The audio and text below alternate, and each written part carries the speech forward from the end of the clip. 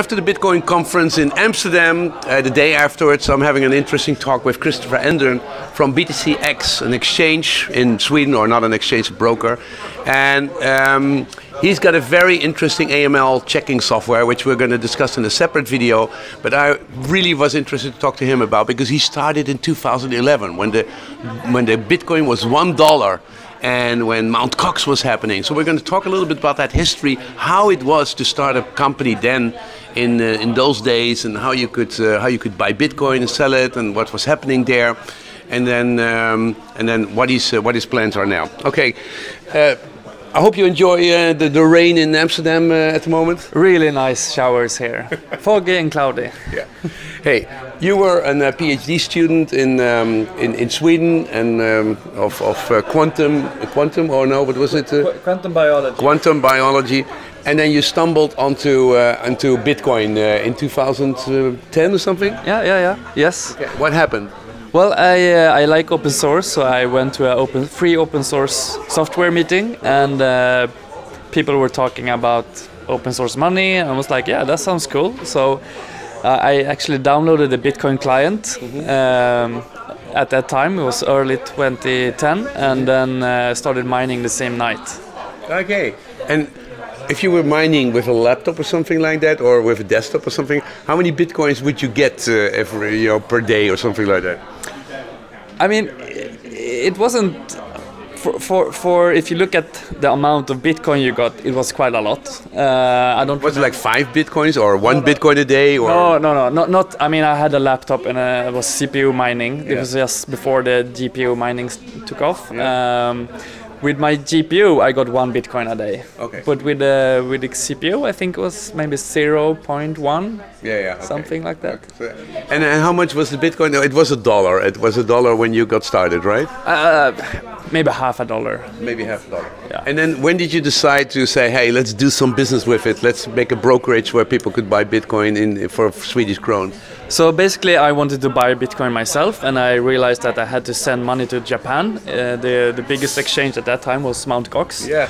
And it took me seven days to send money. I sent like uh, hundred euros or thousand Swedish kroner. Uh, it was Swedish kroner in Sweden. So it took seven days, and it costed me like 200 and uh, twen- like 20 euro or even maybe 25 euro. So I was uh-huh. like, what the fuck? this is really crappy. I mean, that was basically my first global payment I made. Yeah. And then I bought Bitcoin and Mt. Gox, and I took uh, a, a withdraw, mm-hmm. send to my Bitcoin wallet, mm-hmm. and it was instant. I mean, the transaction, I, I barely touched my, you know, click on my uh, mouse. Yeah. And well, the- the signaling was in, in instant, and you had to wait 10, 10 minutes for confirmation. No, no, no. At that time, people didn't wait for confirmation. Really? Yeah, so instantly when the transaction hit the mempool, it was in in your wallet. Oh. Because the double spending uh, mempool problem wasn't. I mean, people were becoming aware of it, but it was not really a problem. Yeah. So you're going, wow. Yeah, it was like bam from seven days and costed like 25 euro to like zero seconds, and the the cost of the transaction was ridiculous. I mean, it was like a thousand of a cent. Mm-hmm. I mean, nothing. Just now it was lightning. Exactly, but on chain. you, you can have it now again if you go just move to lightning okay Yes. and then and then you said okay i can do this for other people Yeah. so what kind of what kind of uh, setup did you make and you programmed it yourself what, what was what was the setup Yeah, so I just started something for fun. I took a WordPress blog. Uh, I can do some coding, so I hacked some PHP code, and uh, a week later I had a site, or a week later, uh, we, we launched, or I launched in uh, January 2011. I did some other stuff uh, during that. Yeah, 2010 year as, as well, Yes. but the the actual WordPress hacking and putting making a logo and just make it available just just Yes. took a week. A week yeah. And then what did you have? You have wordpress. Okay you can buy bitcoin you can bid bitcoin at my website. Yeah. and then uh, what did you do? Uh, people could send money to your bank account or something like that? It was everything was manual or did you Yeah. make it already database driven? Yeah, and yeah, no, no. I mean, the first MVP was totally manual, so it was just uh, I, I got an email to my mailbox and say, "Hello, here's a customer who want to buy buy Bitcoin. Yeah. And uh, so some of the parts were automated, so the the customer got an email with payment instructions, and he. Um, at that time, I started with one bank, and then I opened an account in all Swedish banks. So for a while, I had a com- uh, account in all Swedish banks. Yeah, it was easy to get a bank account in those days. eh? Wasn't it wonderful? How many bank accounts do you now have? Now that you're in business for a long time, you're publicly traded. How many banks do you have in uh, in, in Sweden? Currently, the exchange has zero accounts, and 2011 we had seven. So now all our banking relationships are international. Yeah. So we have one in UK, one in uh, Luxembourg, uh, Liechtenstein. Okay, so it's not a light regime in Sweden uh, in terms of Bitcoin support. No, so I mean Sweden, just to get a sense of how anti-Bitcoin it is in Sweden, is that the the the, the general uh, of the uh, I mean general director of the financial authority flew down to the European Parliament just before the MiCA was to be finalized and said we want to ban Bitcoin mining. Um, we're from Sweden and we demand to have banning of Bitcoin mining. Because of environmental reasons, or because yeah, that must have been. That must have been the reason. Yeah, well, we can only speculate what the reason, reasons are. No, but mining, mining people ban because of uh, exchanges. People ban because of you know money laundering and that kind. But, but mining is always for energy reasons and for climate change and blah blah. Okay, so that they don't like mining and, and, and also, but they have an exchange. There, how many exchanges are there in Sweden? Basically, two. Oh, there are two. There's there's two. Yes. But real proper exchanges where you can Oh, have right, right, right. No, no, zero. Zero. Yeah. Okay. So. So you, there's a place like you, you can buy Bitcoin and send it to your uh, no custodian uh, business, but you can send it to your own address. But there's no exchange. No exchange. There, there is a, a registered Swedish exchange, but they operate outside of Sweden, so they're not really Swedish. They don't, they don't support Swedish krona. Yeah. So Okay. it's. Uh, But in 2011, life was wonderful. You could get all the bank accounts you wanted and blah blah blah. And then how long before you automated the whole process of interacting with banks and tracking payments and blah blah blah, and to make it easy? So I would say each year we automated another part, and it took. I mean, 2011 the volumes were quite low. Yeah. 2012 it started to take off, and 2013 when we had like the really when Bitcoin went from 50 to a thousand, Yeah. then it really took off. I mean, the, we had to hire people every day just to do stuff. Yeah. what was it at the high point? Uh, how many people had did you have at those days in 2013? I think we were we were still a small company, but maybe we were we went from five people to 15 people in in like a month or two. And who did you hire? Students from your friends or what? Uh, Yeah, yeah, exactly. people, uh, but but people. I mean, since we were the only one in Sweden operating, people came to us, so it was quite easy to find find people to. Things were wonderful, and of course, then it went from a dollar. You went from a dollar to a thousand dollar, and 2013 was life was wonderful and Yeah. fantastic. And then what happened? So 2014, the Mount Gox crash came, and that kind of hit the market uh, with a nose dive. And at that time, also now the government and the banking started to Notice. Yes. So that's basically when, when the hard period started. Maybe it started a little bit earlier, but from 2014 and onwards, then it was clear that the banks did not like Bitcoin. No, they started to notice. They started to see it as an as an as an as a competing uh, kind of uh, ecosystem, and uh, and they and also because all, then also did other. I mean, I think Ethereum came in 2015, right? It was, so it was still still very. There were not many other coins at that point. So you had in 2013, everyone wanted to be the better Bitcoin. So there were maybe, let's say, a thousand competitors, everyone with their unique value proposition, um, like faster blocks, smaller uh, uh, transaction block. I mean, Yeah. all kind of shit, Yeah. basically. And all of them failed. Yeah. Basically, I mean, what's still left from from that time is is Litecoin and Dogecoin. And Dogecoin Yeah.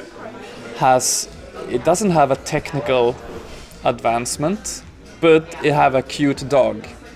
So it, it basically Got survived. some nice supporters.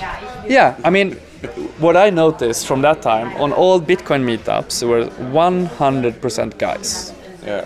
And then I went to a Dogecoin meetup, Yeah. and there were, uh, I said, oh yeah, babies, children, mothers. I was like, what is going on? I was like, wow. Okay, so that was actually Dogecoin was the first branding experience you had in that world. Yeah, definitely. Yeah. Like using a meme to tar- to marketing a currency was a genius. Uh, okay. But but but I met the founder a few times in, in, from California, Uh and he said he wasn't even serious. No, it wasn't a, a joke. Exactly. But people love a good joke or a cute. No, but I mean, also you you noticed, hey, branding is important, right? Definitely. Yeah, and then uh, show me your car because I mean I think uh, sh- because I mean um, Christian and I basically love. I mean we my ex- first experience was I bought hundred bitcoins for seven euros a pop, and then uh, and I bought a Tesla Model S, and he also bought a Tesla Model S, and it cost me hundred bitcoins at seven hundred a pop. And you were also going to buy uh, the Tesla for 100 bitcoins, uh, Yeah, yeah. but what, what happened? Yeah, I, I was lucky. Tesla was uh, running a, a campaign for a car loan, and And he, he's got the he's got the number plates for bitcoins. That's really, I think that's really fantastic. What a great investment. Uh, yeah. So and that, so you wanted to buy uh, for 100 bitcoins. You wanted to buy also a car, just like did, Yeah, and I yeah. did it, and you did. Yeah, so uh, but I only need to pay 20% down payment, and the other 80 I got a, a, loan from Tesla for like one, one, one and a half or 1.2 percent. That saved you 80 bitcoins. So I was yes. stupid and I didn't do. I mean, I should have done that. I had the money lying around in fiat, and I left. I thought I was a brilliant investor, buying Bitcoin for seven dollars and selling it for seven hundred dollars. So I'm really bad at that stuff. okay, so but then there was the winter. Okay, there was the winter. You basically crashed. And of course, volume went down. And uh, what did you do uh, to survive that? And, and what did you think? Was this the end of Bitcoin, or because you were not used to those kinds of things in those days? So I, I think the first really crash I remember having, it was actually be, before 2013, uh, and that was 2012 when Mt. Gox had a flash crash. Oh. So the price of Bitcoin, I don't know if it went from like 20 or 30 down to almost 0 And I was actually sitting in front of my screen watching the red bar going all the way to zero. And I was like, what is going? And I, I had i mean I, i'm a tech guy or a math guy quantum biology.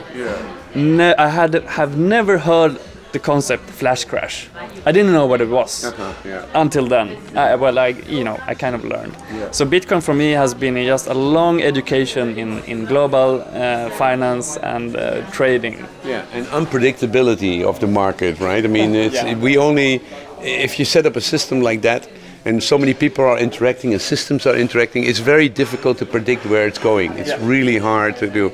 Okay, so you had a number of these winters, Yeah. and of course, in the winters we innovate, right? Yeah. That's that's the idea. Yeah. Uh, so what did you do? So the first winter 2014 that's also when we got uh, we also got offboarded at that time from, from offboarded from our bank yeah. so we had the winter we had the Mt. Gox crash we had th- that's where we had our first clash with our uh, with our bank and realized okay the banks doesn't really like what we're doing so we had to um, staff up on compliance. So that that was the first kind of wake up call that we need to be more diligent mm-hmm. than the banks. Mm-hmm. Otherwise, they will not touch us. So that we had to rearrange the company, do more getting in lawyers and stuff like that. All the the, the boring stuff. And tough stuff. It's really tough. It's much easier to make good software and then and to make good documents and make good procedures and make processes and adapt to the fiat uh, rules. It's quite hard and expensive. it's super hard and super expensive and uh, from my experience it's also extremely complex and even if we even though we took in the best that we could find in Sweden they had no clue how bitcoin worked so we also had to be really good in educating the experts and finding a, a good like where how do we work with bitcoin so the banks are satisfied, the governments are satisfied, and that basically comes down to the product we're offering now. which is basically uh, an AML product, anti-money laundering product for crypto. Yeah. That is already MiCA approved or Mi- Mi- MiCA adapted, I would say. Yeah. We're going to talk about that for in a little bit more detail in a separate video because I think that's nice for people Yeah. to because AML, you know, just and, and having tools for AML is, is really important. So that's good that that comes out of the innovation. But in the meantime, you also said, okay, well, then in 2017 you got another, you got then uh, things went through the roof again. So Yeah. how, how did that happen? But what what happened then in your company? You had prepared, you were organized, you still had a Swedish bank left to. yeah, uh, yeah, yeah, yeah. So 2017, we were more prepared for for the summer. Uh, we didn't. I mean, it was really hard to to know exactly how how the hype would unfold. Yeah. So this ICO hype that happened during um, during the summer 2017, and then, then really spiked uh, later that year that kind of was new for us. I mean, we could see others offering all those tokens and coin and pre-sales and white papers, but one thing that I had learned during the, the, the previous cycles, I mean, when, when everyone was competing for a better Bitcoin, everyone failed. Yeah. And I could see the same thing is going to happen again. Um, but some evolution always happens. So Ethereum, for example, it's still around and has a use case for smart contracts. Some people think that it's just for gambling, mm-hmm. but it still have a value proposition, proposition other than Bitcoin. Yeah. So we just focused. We, we offer Bitcoin and Ethereum, and don't put so much energy in all the other stuff. Not so much energy or no energy? Well, we we still have customers that do want to spend time doing that. Yeah. So we help them, kind of. Here is uh, like in educational wise. Yeah, yeah, but you don't have any products and you don't sell uh, No. other coins. Okay, good. And then say, okay, then then you had that thing, and then and, and then it, it crashed again. What what happened when it goes up? You're very busy uh, onboarding all kinds of new customers. yeah. Did you do KYC at that moment in 2017? We did. We, we actually started KYC 2012 13 already. Yeah, So you did that, and then and then the crash happened again. So what happened with that? Uh, did you what did you learn from that? Uh, yeah, I mean, basically, it, it was the same thing all over again. Uh, so we cut down on expensive, try to focus on core business, and uh, get ready for the next hype. That's basically we're in the same position we're in right now. Yeah. Um, You- You're first at 21, okay? So then 21.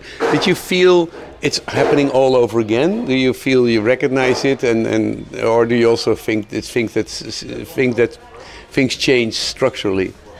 So the, the major shift I would say is happening is that 2013 Bitcoin was its own economy. And before 2017 it was blended with uh, I mean the crash 2017 came in December and it matched kind of the same week when big corporation they want to close their books. Like it's the end of the year we want to take profit or take losses. And at the same time bitcoin crashed. So it's like kind of End of the year.